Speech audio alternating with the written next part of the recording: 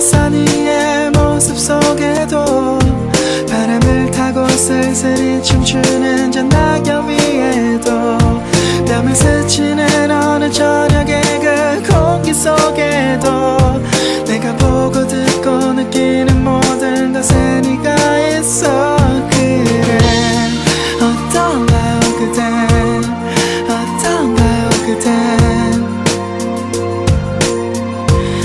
당신도 나와 같나요?